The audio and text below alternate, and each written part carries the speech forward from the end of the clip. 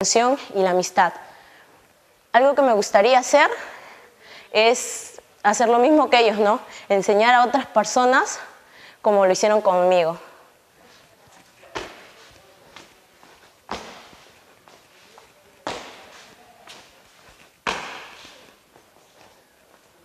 Mira, aquí se armó lo que es este, la barra de Alianza Lima, el séptimo Grone se armó acá, quien habla también fue parte de los fundadores del séptimo Grone.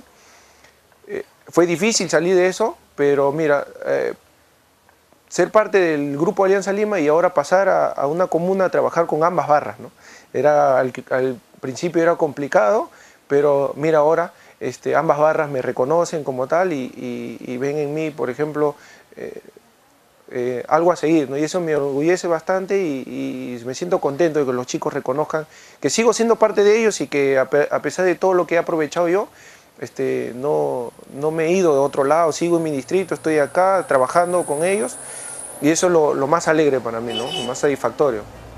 Lo más satisfactorio, dice Vicente, porque él fue uno de los que estuvo al principio cuando Sihac era solo un sueño porque él era parte de una pandilla y quiso en un momento determinado cambiar de color y ser parte de esta movida que impulsaba Rafael, porque fue coordinador de CIJAC, porque aprendió gracias a una beca a enseñar a niños a dibujar, porque ahora trabaja en el municipio de Villa y apuesta por esos chicos y chicas que están en el pandillaje, porque quiere darles una oportunidad como a él se la dieron alguna vez.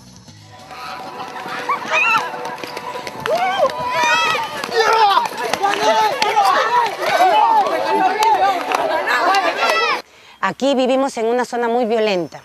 Desde las familias, los padres eh, inculcan esa violencia en sus niños, en la comunidad existe un cierto, una cierta violencia de pandillaje juvenil, y todo lo que ha venido hace, no sé, pues unos años atrás con todo esto del terrorismo, ha generado en la, en la comunidad una clase de violencia que los niños lo han captado, ¿no? Entonces eh, se relacionan muy violentamente.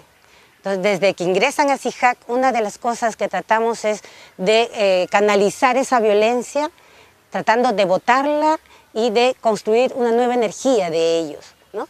Y es lo que un poco eh, el Sanco hace mucho en este favor, ¿no? O sea, porque si tú te has dado cuenta cuando comienzan a correr, comienzan ellos a generar nuevas relaciones que no es cuando están normalmente en casa o jugando en la calle, ¿no? Son muy violentos al relacionarse, pero ya tienen tres, cuatro, cinco años aquí, ya es una nueva persona, ya son diferentes. No te estamos diciendo que ya no son violentos, porque es difícil dejar de ser violento en esta sociedad, pero ya canalizan mejor sus energías, ¿no? Controla ahí tu caída, Jeffrey. Muy bien. Un, dos, tres,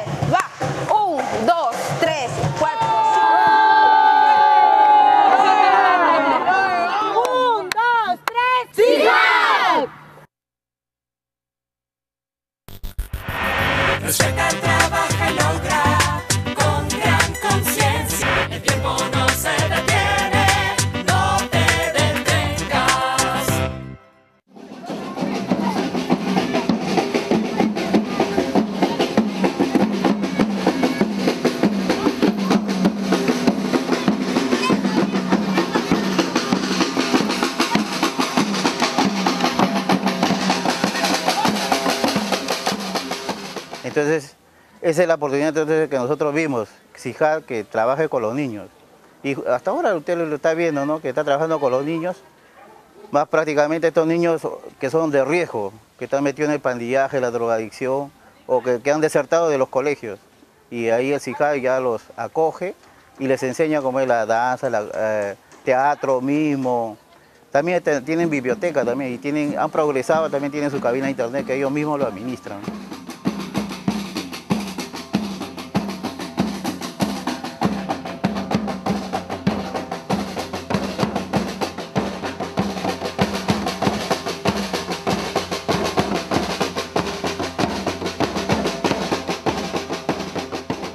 Una de las cosas que nosotros tenemos acá en el CIJAC con los jóvenes y niños es que si ellos quieren desarrollar estas habilidades aquí, estas destrezas, esta, esta, cada taller, en, cada taller, ellos tienen que ser muy buenos estudiantes. Ellos tienen que estar bien en el estudio y si no, no pueden solos en casa, aquí nosotros les ayudamos, porque no puede ir separado, divorciado, tiene que complementarse, ¿no?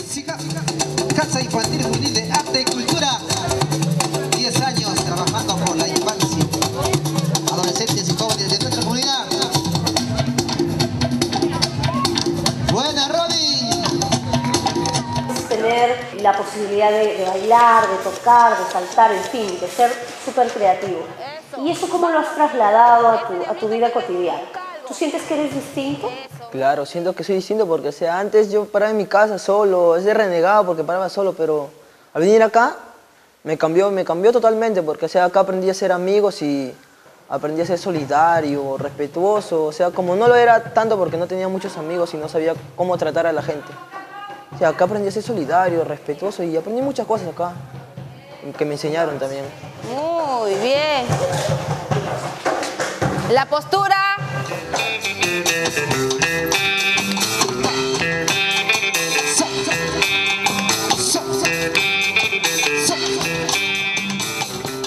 creo y fundo el CIJAD con otros amigos con esa intención justamente, de poder ver de qué manera desde el arte podemos ayudar justamente a que otros chicos que tienen problemas, vienen de familias bastante conflictivas, difíciles, puedan encontrar una oportunidad, un espacio en el cual de alguna manera les contribuya a ser mejores personas y encuentren la posibilidad tal vez de poder, entre esos problemas, poder visualizar un- una esperanza, un futuro, vislumbrar algo positivo para ellos mismos.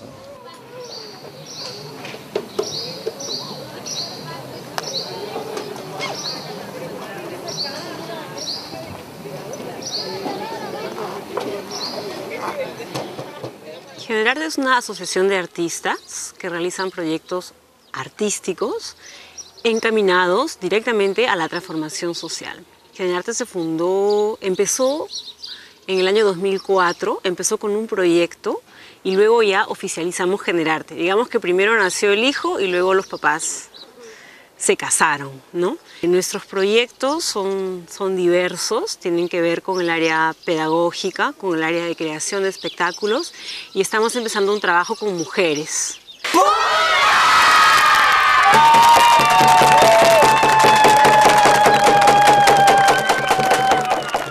Estos proyectos, el más fuerte es Pugyay, que es el proyecto donde estamos ahora, en las lomas de Caraballo, pero tenemos también otro tipo de, trabajos. Nosotros trabajamos a partir de, lo que los chicos son, a partir de su identidad, de su historia, de los recursos que nos brinda la comunidad, de los elementos que tiene la comunidad, a partir de los padres también, porque cada padre es una historia diferente, ¿no? Los padres traen sus historias, su música, sus vivencias y los chicos a partir de lo que los padres van trayendo van también valorando su identidad, van valorando y descubriendo y redescubriéndose también.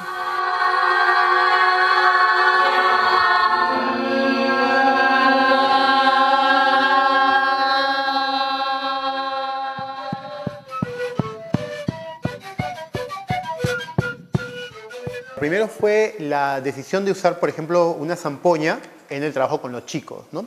La zampoña es un instrumento muy antiguo, de miles, me atrevería a decir tres o cuatro mil años de antigüedad, y que tiene una particularidad, que es que tiene dos partes. Es decir, que se necesitan dos personas para que puedan tocar. ¿No? Yo, claro, obviamente los músicos de música latinoamericana tocan las dos, pero la manera tradicional de hacerlo es en comunidad también, con los chicos. Entonces tenemos un grupo de, de zampoñeros, de, de- de chicos que tocan la mitad, tocan una parte de la zampoña y la otra mitad la otra. De tal manera que si yo no dependo, converso, me comunico, establezco un vínculo con los demás, no puedo soplar yo solo. ¿no? Esa es la manera de hacerlo.